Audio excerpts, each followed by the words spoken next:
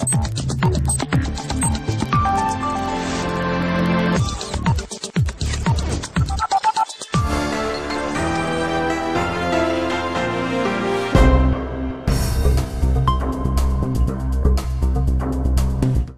comune di Comiso non eroga il servizio di trasporto dei soggetti disabili al CSR da quasi due mesi. Il motivo? Il pulmino è guasto e il comune non può permettersi di acquistarne un altro. Ogni giorno, da lunedì al sabato, il pulmino trasporta 15 utenti tra bambini e adulti disabili. Ogni giorno 15 persone vengono prese da casa o da scuola, portate al centro di riabilitazione per il trattamento riabilitativo e riaccompagnate a casa o a scuola un servizio che spetta al comune che è erogato gratuitamente agli utenti, ma a Comiso da quasi due mesi questo non avviene e molte famiglie sono costrette a rinunciare al trattamento, spesso fondamentale per la salute dei loro familiari, un calo di oltre il 50%. Nelle ultime settimane sono infatti solamente 6-7 disabili che riescono a continuare ad andare al centro per la loro terapia, gli altri restano a casa.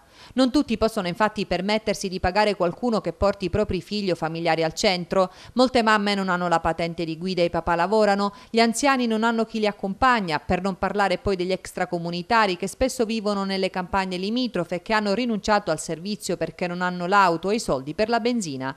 Perché fare su e giù da Comiso alle campagne una, due o tre volte la settimana costa e molte famiglie non se lo possono permettere. Una situazione drammatica per chi già vive in una condizione difficile come la disabilità. Stanno prendendo in giro, se la sono messa con delle persone gravemente con problemi di salute, quindi con problemi di disabilità e loro riferiscono che, le dovrebbero dare in gara d'appalto, che, che non possono mettere nero su bianco tanto che è vero che ci sono delle persone che vivono nelle periferie e non stanno manco potendo usufruire diciamo, di questo CSR.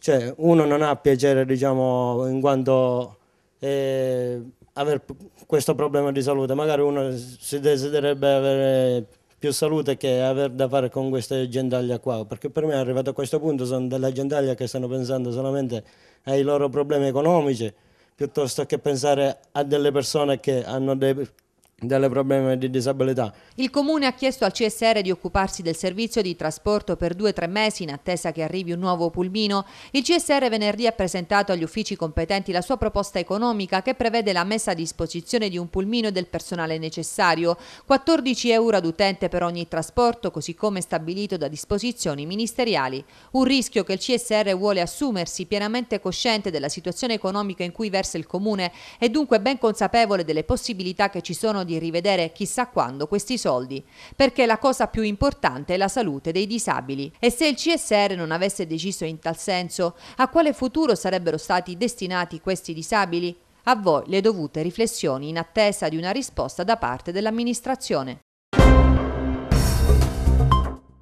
Di arroganza e prepotenza parla il PD, di Nello Furioso parla Italia dei Valori, attacchi frontali al sindaco di Ragusa da parte dei partiti di opposizione per una vicenda che da giorni anima la scena politica ragusana, sfuggendo al controllo del sindaco. I fatti risalgono all'incontro che si è svolto venerdì scorso tra l'amministrazione e le associazioni di categoria sullo stato di crisi dell'agricoltura. Alla riunione erano presenti anche alcuni consiglieri comunali, capigruppo delle liste alla maggioranza, presente anche il consigliere Giuseppe Arestia dell'MP PA che però è stato allontanato dal sindaco nel pieno della riunione perché aveva mostrato il suo disaccordo nei confronti del primo cittadino in merito al prezzo del latte.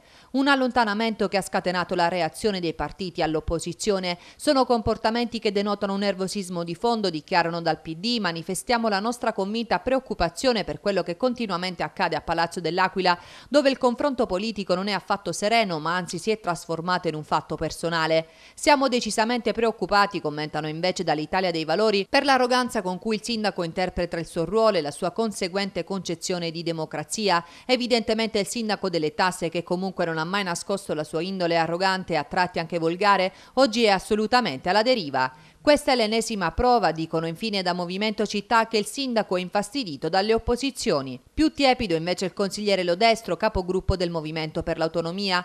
Quello del sindaco è stato un atteggiamento poco democratico, ha detto Lodestro. Di Pasquale poteva sfruttare meglio l'esperienza che il consigliere Arestia ha del comparto agricolo per elaborare interventi più proficui e invece ha sprecato questa occasione. Una difesa poco incisiva da parte del consigliere Lodestro, da cui ci si sarebbe aspettato un affondo più energico, che il capogruppo sia in difficoltà nell'assumere una chiara e netta posizione. Insomma, Lodestro tra l'incudine di territorio e il martello del suo collega di partito?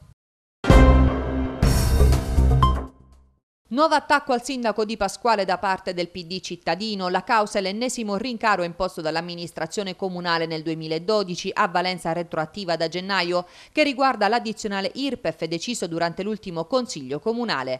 Dopo il ticket sui pulmini, l'aumento della refezione scolastica, dei servizi cimiteriali, dello svuotamento dei pozzi neri, dopo la tassa di soggiorno e la retta sugli asili nido, un nuovo rincaro dunque per i ragusani. La giustificazione adotta dal sindaco di Pasquale è sempre la stessa, cioè i tagli da parte del governo nazionale e regionale, ma il PD non ci sta. È un sindaco bugiardo, precisa la segreteria cittadina, che ha affamato la città imponendo in sei anni ai ragusani qualcosa come 15 milioni di euro di tasse locali in più all'anno, spazzatura più 5 milioni, acqua più 4 milioni, addizionale comunale IRPEF più 3,8 milioni, ICI più 2 milioni, riducendo la città a un rudere abbandonato. Il PD non risparmia commenti anche nei confronti della maggioranza che sostiene il sindaco in consiglio, una maggioranza succube del sindaco che si fa notare solo con la forza dei numeri e mai con la forza degli interventi. Pochi, troppo pochi per un totale di quasi 20 consiglieri gli interventi di spessore di reale interesse nei confronti della cittadinanza. L'aumento dell'addizionale comunale IRPEF, dicono dal PD, è stato votato senza fiatare, in modo assolutamente passivo dalla maggioranza. Che tristezza vedere la nostra Ragusa ridotta in queste condizioni da un personaggio populista e incantatore che cambia colore davvero opportunista. Speriamo, concludono, che le sue ambizioni politiche lo inducano a dimettersi presto per avere la speranza di salvare una città un tempo considerata modello di sviluppo, oggi purtroppo al crepuscolo. L'amministrazione comunale naviga a vista. Questa è l'accusa lanciata dal consigliere comunale del PD Fabio Fianchino, che incalza l'assessore ai lavori pubblici Roberto Cassiba sui costi per la realizzazione della rotatoria di Via Cecov e di altri lavori di sistemazione per altre poche strade. La domanda che pone Fianchino riguarda l'opportunità di spendere migliaia di euro per la realizzazione di queste opere, quando invece, vista la situazione del dissesto finanziario, sarebbe stato prioritario ripristinare le strade a maggiore rischio e limitarsi a mettere in sicurezza la zona di Via Cecov con un rafforzamento della segnaletica politica orizzontale e verticale, risparmiando così denaro che si sarebbe potuto impiegare diversamente. Fianchino ha annunciato che presenterà due interrogazioni, la prima per conoscere rispetto alla somma totale a quanto ammonta l'impegno di spesa per la realizzazione della rotatoria, la seconda per sapere se per l'affidamento dei lavori si è proceduta a una gara di evidenza pubblica per garantire la trasparenza. L'esponente del PD ancora torna sulle consulenze assegnate al sindaco portando a testimonianza un decreto del sindaco del 30 luglio del 2010 per l'incarico di un esperto di fiducia in materia di problematiche ecologiche. Il sindaco infatti dichiara Franchino, parla di una riduzione delle spese per le consulenze, ma i numeri parlano chiaro, 50.000 euro all'anno per il consulente da paro e della liquidazione di una fattura di 8.000 euro relativa all'incarico di responsabile del servizio di prevenzione e protezione dei rischi per l'anno 2011. E a proposito, si tratta dello stesso Daparo che nell'ultima tornata elettorale è stato impegnato a Scicli nella lista Terra Mia, raccogliendo 17 voti di preferenza come consigliere comunale, un po' pochi perché ha fatto e continua a fare il consulente a Comiso a 50.000 euro all'anno. Che fatica e quanto tempo per avere le delibere. Come ricorderete nelle scorse settimane ci siamo occupati dell'edizione 2012 di Agrem, la fiera dell'agroalimentare promossa dalla Firemaia di Vittoria. Un mese fa avevamo inoltrato una richiesta di accesso agli atti per conoscere le cifre spese per l'organizzazione dell'evento. Ebbene, dopo quasi un mese, ovvero il tempo massimo per legge, abbiamo ricevuto i documenti e abbiamo dovuto pagare 29,20 euro per l'esattezza. Insomma, 30 giorni di attesa è un costo non indifferente per fare il nostro mestiere, ovvero quello di informare la gente.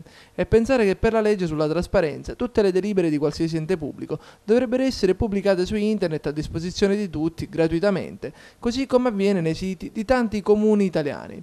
Come stampa inoltre dovremmo avere l'opportunità di poter ricevere le delibere in tempi ristretti e pensiamo anche senza alcun costo. Quanto dovremmo spendere altrimenti se volessimo approfondire un qualsiasi argomento che sta particolarmente a cuore dei cittadini? Intervistato sull'argomento, l'assessore alla trasparenza di Vittoria Piero Gurrieri ha dichiarato di avere già da tempo sollecitato il presidente delle Maia per la pubblicazione online dei documenti, una soluzione che certamente renderebbe più semplice l'accesso agli atti e diminuirebbe il lavoro degli uffici competenti. Del resto non si tratta di un fatto eccezionale, ma solamente dell'applicazione della legge Brunetta sulla trasparenza amministrativa con il relativo abbattimento dei costi. E a proposito degli accesso agli atti da parte dei giornalisti, la Federazione Nazionale della Stampa ha chiesto di recente che che il Parlamento approvi una legge che si ispiri ad esempio al Freedom of Information Act, il provvedimento ideato dai paesi scandinavi, che gli Stati Uniti approvarono nel 1966. L'obiettivo è che tutti i cittadini, con in prima fila i giornalisti, possano conoscere documenti pubblici. La Federazione Nazionale ha annunciato che nei prossimi mesi lavorerà. Il primo passo potrebbe essere la presentazione di una mozione parlamentare per ottenere un provvedimento di legge che obblighi gli enti pubblici di qualsiasi natura e collocazione territoriale a rendere immediatamente conoscibili i propri atti, attuando così concretamente il principio costituzionale che riconosce al cittadino il diritto ad essere informato. Ore sotto il sole per l'aeroporto di Comiso. Ha preso il via questa mattina presso lo spiazzale dello scalo Casmeneo la protesta promossa da diversi movimenti e partiti cittadini per protestare contro i ritardi dell'avvio dello scalo e per dare una spinta al governo nazionale e agli enti preposti. L'iniziativa, davvero unica e singolare, denominata appunto Ore sotto il sole, consisterà in un sit-in che si ripeteranno a distanza di una settimana, aumentando progressivamente il numero delle ore di permanenza sotto il sole. Un'azione che non vuole essere solo dimostrativa, ma che mira a mantenere alta l'attenzione per l'apertura dello scalo. E per le prossime settimane i promotori organizzeranno anche tornei di calcio balilla, calcetto comunque altre iniziative per far riappropriare i cittadini di questo spazio. L'azione è simbolica, l'azione non è per, per prendere il sole come qualcuno aveva detto, ma per mantenere viva l'attenzione, desta l'attenzione su una problematica che eh, stenta a risolversi. Eh, meglio fare qualcosa che non fare nulla, meglio agire che lasciare o sentire delle persone che dicono tanto non concluderanno nulla, no, esserci e, e movimentare. Insomma le forze politiche e sociali della città intendono riprendere la lotta iniziata dal deputato regionale del PD Pippo Di Giacomo, che per sei giorni ha attuato lo sciopero della fame, interrotto con la promessa da parte del ministro Passera di un incontro per cercare di dare qualche certezza in più all'apertura dello scalo. Ma considerato i silenzi che avvolgono l'aeroporto, le ore sotto il sole cogente durante quest'estate saranno davvero una dura prova. Intanto oggi è andata per fortuna bene con il sole che era attenuato da qualche nuvola. Ancora alta l'attenzione sulla questione del MUOS, il potente sistema di antenne satellitari militari in via di installazione a Niscemi, a causa delle forti radiazioni che emette, può essere causa di danni alla salute dei cittadini e all'ambiente circostante. Le antenne infatti sono state impiantate al centro di un sito SIC di interesse comunitario, ovvero la Sughereta, un vero e proprio polmone verde a pochi chilometri da Niscemi. Ma non solo danni alla salute e all'ambiente, il MUOS infatti come confermato anche da alcuni studi, potrà avere interferenza anche sulla navigazione aerea, visto che a pochi chilometri in linea d'aria ci sono sia le all'aeroporto di Comiso sia all'aeroporto di Catania. Alla fine della seduta i consiglieri comunali hanno approvato una mozione per chiedere la sospensione dei lavori e la revoca delle autorizzazioni rilasciate dal governo nazionale e regionale alla Marina Militare Americana. E intanto prosegue l'azione dei comitati che stanno raccogliendo migliaia di firme da consegnare al presidente della regione Raffaele Lombardo, continuando nelle scuole e nelle piazze i momenti di divulgazione per sensibilizzare le popolazioni. Alfano e la giunta di centrodestra perdono anche la fiducia della banca tesoriera e mettono a rischio gli stipendi dei dipendenti. Questa volta il primo cittadino ha interrotto i rapporti con la banca che ha svolto da sempre il servizio di tesoreria per il comune, la quale irrigidendo si chiede l'immediato rientro dell'anticipazione di cassa, mettendo a repentaglio anche gli stipendi dei dipendenti. La denuncia arriva dal segretario cittadino del PD, Gigi Bellassai. Infatti tutta la nuova liquidità proveniente da Stato e Regione verrà assorbita dal rientro finanziario imposto dalla banca. In un quadro come quello comisano, ribadisce l'esponente del PD, è quindi urgente e indispensabile bloccare tutte le spese inutili e gli sprechi perché nonostante il congelamento della massa debitoria dovuta al dissesto, già nel mese di maggio 2012 il Comune con la sola gestione corrente si trova con un deficit di cassa di quasi 4 milioni di euro. Tra le proposte lanciate dalle forze di opposizione ad Alfano c'è quella di attivare una manovra che prevede fra l'altro i tagli della spesa e della politica con una riduzione del 40% delle indennità degli amministratori per i prossimi 5 anni, l'eliminazione di tutte le consulenze a titolo oneroso, l'azzeramento dei dirigenti con il trasferimento delle competenze al segretario generale, la vendita delle auto blu e di quelle a disposizione degli amministratori, la razionalizzazione dell'uso delle auto di servizio e la riduzione delle spese di carburante, nonché l'eliminazione delle spese di rappresentanza e il blocco di tutte le missioni, dei viaggi e delle trasferte per gli amministratori. A ciò bisogna aggiungere una razionalizzazione delle utenze Enel e telefoniche del comune e il rafforzamento dell'ufficio tasse per aiutare i contribuenti a realizzare l'arretrato individuando le sacche di evasione che raggiungono il 40% e la revoca della convenzione con la Serit, che sta creando solo problemi ai contribuenti senza produrre entrate. Infine altra proposta dell'opposizione quella di costituire una task force con un ufficio unico specifico per la partecipazione ai bandi regionali, nazionali ed europei che stanno per partire. Una porta girevole. Ecco che cosa ci vorrebbe per la sede dell'MPA Comisano. In questi giorni il partito ha visto la nomina del nuovo coordinatore cittadino Giuseppe Caruso e l'uscita di tutto quasi l'intero gruppo precedente, tra cui uno dei fondatori a Comiso del movimento, Giovanni Angelieri. Proprio Angelieri e i suoi hanno deciso di fondare un movimento Liberi Liberi, prendendo così le distanze dal commissario provinciale dell'MPA Paolo Roccuzzo, con il quale sin da subito si era capito che l'amore a prima vista non era nato. La spaccatura insomma era inevitabile, dietro l'angolo ed è arrivata dopo la nomina a commissario provinciale del partito da parte di Roccuzzo. Difficile che Roccuzzo e Angelieri, provenienti da due modi di fare politica diversi, potessero riuscire a fare sintesi. Non solo, fino a pochissimo tempo fa Angelieri era un uomo di fiducia di Riccardo Minardo a Comiso. A questo punto l'interrogativo è se ci siano anche contrasti tra Minardo e Roccuzzo, o se il deputato regionale abbia abbandonato Angelieri. E così l'MPA Casmeneo si ritrova a partire da zero quasi riparte da Caruso, ex assessore della Giunta Alfano, con delega allo sviluppo economico ed ex PDL, un volto noto della politica nonostante la giovane età, convertito agli ideali e ai principi dell'autonomismo. Caruso qualche mese fa aveva annunciato anche la sua sospensione dal PDL perché non condivideva più l'appoggio del partito alla giunta Alfano. E adesso l'MPA cosa farà? Il partito è in un evidente stato confusionale e dovrà riprendersi dallo schiaffo morale lanciato dall'ex componente fuggita da sola o mandata via da Roccuzzo. Questo è ancora da chiarire e anche a livello regionale il partito era allo sbando. Proprio qualche giorno fa il presidente della regione Raffaele Lombardo si è lasciato andare a dichiarazioni non certo incoraggianti. Non ho mai creduto nel terzo polo e sono deluso dall'evoluzione dell'MPA. Detto dalla bocca del fondatore del movimento, si capisce che qualcosa non funziona. Forse Lombardo ha perso le redini del partito e non è riuscito a mantenere la situazione sotto controllo. Insomma, un partito che anche dopo i risultati deludenti delle ultime elezioni amministrative in Sicilia ha bisogno di capire che cosa farà da grande e fare scelte di campo precise. Rischi e pericoli per gli automobilisti che oggi a Comiso transitavano nei pressi dell'ospedale Regina Margherita. Intorno alle 14.30 alcuni operai stavano sistemando il mando stradale. Finalmente una bella notizia, qualcuno penserà, ma la strada in realtà non era interrotta e non vi erano segnali che indicavano agli automobilisti di percorrere altre vie, per recarsi a casa, in ufficio o in qualsiasi altro posto. E così chi si è trovato suo malgrado a percorrere l'arteria ha dovuto fare un pericoloso slalom tra i mezzi impegnati a lavorare per scarnificare l'asfalto, facendo attenzione ad evitare la pala meccanica della ruspa che si muoveva da una parte all'altra e ad evitare anche i dislivelli del manto stradale sconnesso dai lavori in corso. Insomma, un bel rischio per l'incolumità di automobilisti e pedoni, mentre come detto non c'era alcun operaio che segnalava alle auto di rallentare. L'appello che lanciamo come emittente è che chi di dovere prenda le dovute precauzioni per evitare il possibile insorgere di incidenti stradali e di prevenire prima che ci possa scappare il morto. La politica si sa a costi altissimi, lo dimostrano i maxi stipendi, le indennità e i privilegi vari dei deputati nazionali e regionali, cifre che l'Italia agli occhi di molti non può più permettersi, ma che nonostante ciò continuano a non essere toccate dai tagli del governo nazionale. Accanto ai costi della politica però c'è un altro aspetto, spesso volutamente trascurato, i costi dell'apparato burocratico, soprattutto a livello locale. Abituati come siamo a puntare il dito contro i cosiddetti gettoni di presenza che spettano ai consiglieri comunali impegnati nella loro attività politica, dimentichiamo infatti spesso di volgere lo sguardo all'interno degli uffici comunali. Ma quanto spendiamo per i dirigenti comunali?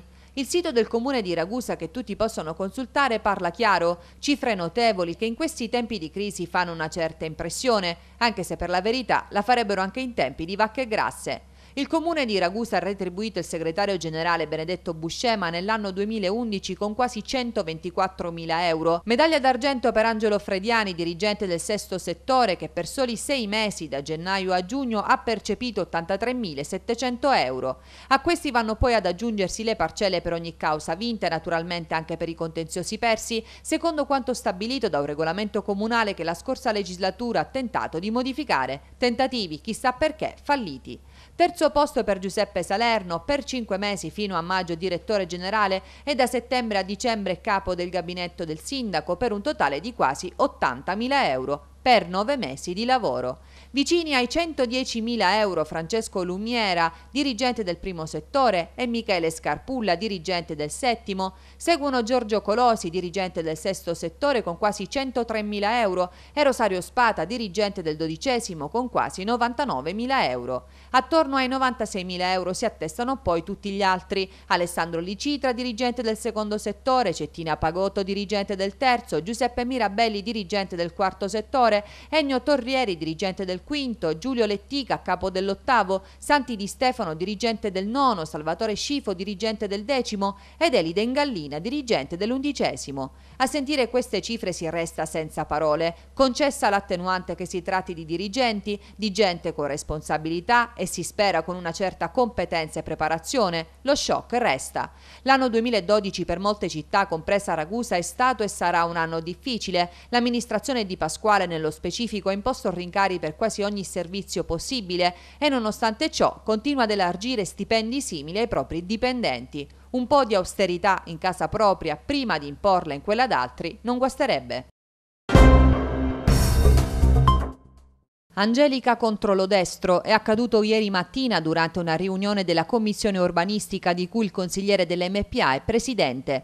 Causa della bagarre il piano triennale delle opere pubbliche 2011-2013 bocciato dalla commissione. Il consigliere dell'UDC Angelica è uscito dall'aula dopo che la sua richiesta presentata lunedì scorso di poter ottenere degli approfondimenti di natura tecnica su alcune delle opere inserite all'interno dello strumento di programmazione è caduta nel vuoto. In particolare Angelica ha chiesto di visionare due progetti di finanza che prevedono l'intervento di privati. Il primo riguarda l'ampliamento della discarica subcomprensoriale per rifiuti solidi urbani sita in contrada Cava dei Modicani per un importo di 6 milioni e 915 mila euro. L'altro riguarda invece la realizzazione di un impianto fotovoltaico nel sito di un'area dismessa sempre nella stessa discarica. In questo caso l'importo è di 6 milioni e 500 mila euro. In commissione però i progetti non sono arrivati perché il dirigente non sarebbe riuscito a trovarli locali. Nonostante ciò il presidente Lodestro ha deciso di continuare la seduta procedendo al voto del piano. Angelica per protesta è uscito dall'aula determinando la bocciatura del documento con quattro voti favorevoli e quattro astenuti.